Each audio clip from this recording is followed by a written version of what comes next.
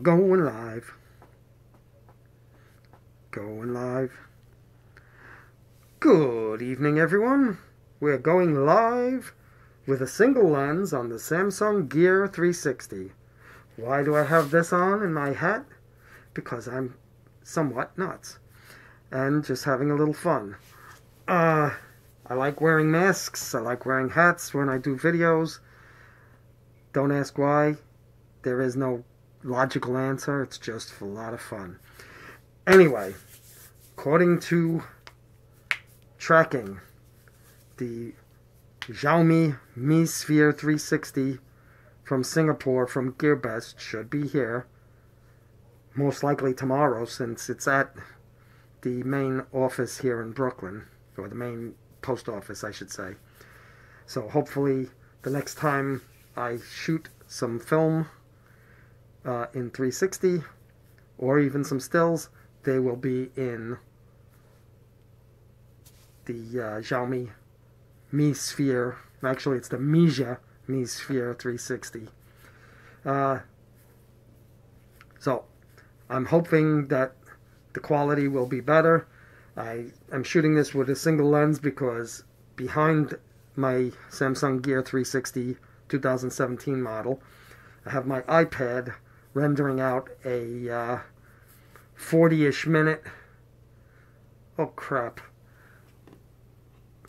I have. Uh, I just realized I never put how many minutes the the gameplay was. It just says minutes of plus of gameplay because originally it was 49 minutes, but then I cut out uh, some dead space of uh, Call of Duty, making it much much less. I think it's down to about 35 minutes now because I had some headquarters shenanigans in there, and then I played a little war mode. If you uh, are a gamer, you'll probably enjoy Call of Duty uh, Second World War or World War II. Anyway, so I'm shooting this with a single lens because right behind it is the light that you see shining on me, as well as my game, my iPad Pro, rendering out this video. Okay, so what else is going on? This is going to be a short little jabber. Uh, still using my iPhone SE, and it's letting me, with a single lens, shoot at uh, 1080p, I believe, or maybe it's 960p. Actually, I think it's 960p because I think it's still in 2 to 1 aspect ratio. And it looks like uh, I've got a bit of a fisheye. So I may load that into uh, LumaFusion on the iPad later and see if I can defish that look.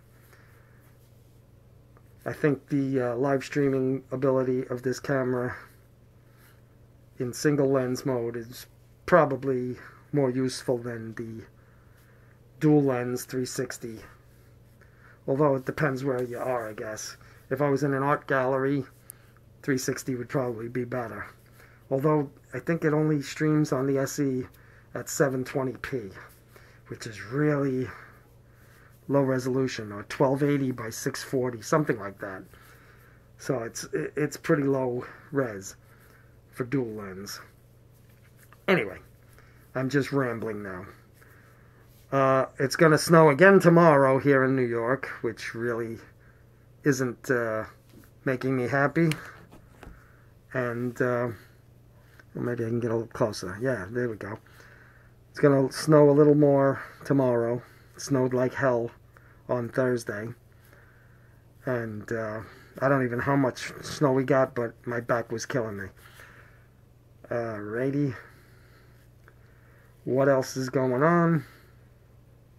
Again, the Mijia Mi Sphere 360 is on its way. Um, it came fairly quick. Ordered it on December 18th, and tomorrow I think is January 9th, so it's not too bad. It's about three weeks from Singapore, which is fairly normal. I see other people on uh, Facebook that ordered in November that still haven't gotten their camera. But again, they're not in the United States either, so that could be part of the problem. It may even be their local postal service that's causing issues. That I don't know. Um, if any of you know of a good case to put the Mi Sphere 360 in, please let me know. I've been looking at a, a Pelican, I think it's a Pelican Model 1200, which is a pretty substantial hard case. It's about $25 with the foam and all. It's uh, kind of on the big side for that camera, but uh, other people had mentioned the Pelican 1010, which was like 15 bucks, but once you add the like 10 or 15 dollars to put foam in it, you're above the 1200, which is even a larger case. So I think it's kind of silly to buy the smaller case.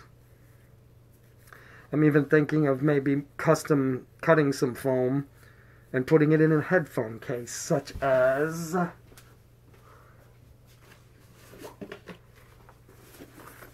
such as, sorry for giving you dead air, such as this. This is a reasonably large case. And I mean let's take the headphones out.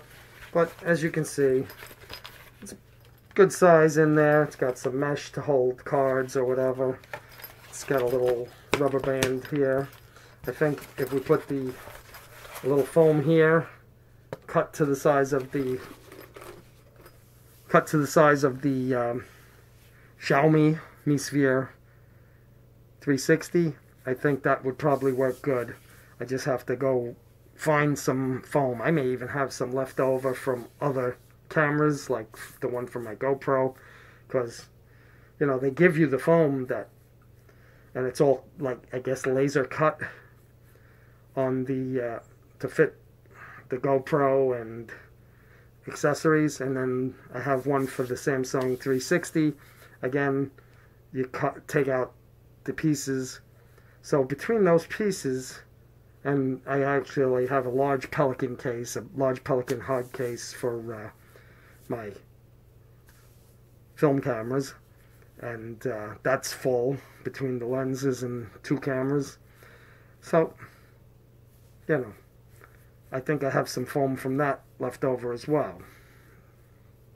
I was even thinking of using a possible possibility of a pistol case because some of the pistol cases, you know, like for a Walther PPK, they're fairly small, about that big. Zip up, nice cushion inside with uh, nice, uh, like velour inner. And that probably would work as well too. Although I don't think it would make it uh, crush proof, so you'd have to be careful of crushing the lens. What in the world was that? Here's your reminder for my pay. Computer, stop! oh boy, it's reminding me to go to the headquarters in Call of Duty to get my pay, which uh, you use to buy uniforms and emotes and different calling cards and so forth. And I'm trying to get uh, the Royal Highlanders uniform, which is a Canadian uniform for the, I think it's the Expeditionary Force. So, I'm going to wrap it up here because it's really not much left to say. I'm mainly doing this as a test. No one may find this of any real interest. It's just me rambling. So, as always, have a great night from the Mad Mohawk, Gwegwe. Yes, that's how you pronounce it. K-W-E, K-W-E is Gwegwe. Have a great night from the Mad Mohawk, Gwegwe, Onagi, Wahi. And we're out. Auf Wiedersehen. Bye bye.